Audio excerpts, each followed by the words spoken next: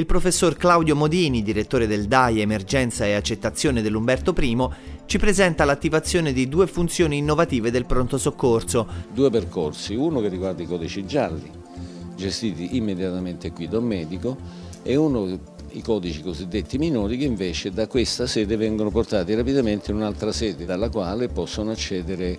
con facilità a tutti i presidi di diagnosi e di cura della piazza centrale. Gli ausiliari o gli infermieri accompagnano con gli ascensori sopra i pazienti che sono stati definiti come codici minori, codici bianchi, codici verdi, cioè malati che si prevede non abbiano necessità di ricovero. Eh, noi prevediamo di trattare in questa sede 20.000 malati l'anno, che quindi è un numero eh, molto grande, superiore a quello di alcuni ospedali per la totalità dei malati arrivano al pronto soccorso. Una serie di box visita dove ci stanno eh, il chirurgo, il medico, quello strutturato, e un medico di medicina generale che vede i codici proprio bianchi. Il dottor Arceri che coordina eh, l'attività dei medici di medicina generale che è una cosa sperimentale attivata dalla Regione, va avanti da un po' di mesi, sono dei medici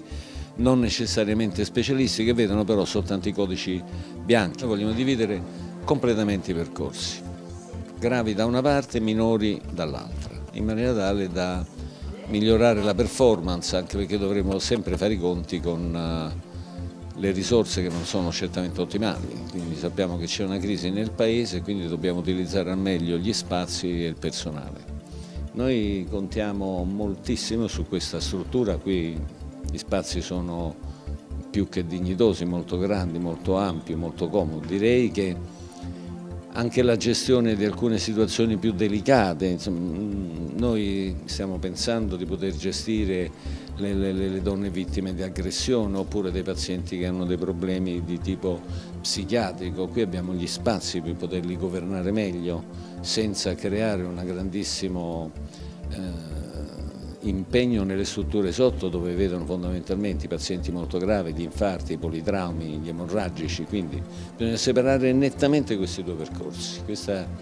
è quello che ci proponiamo di fare.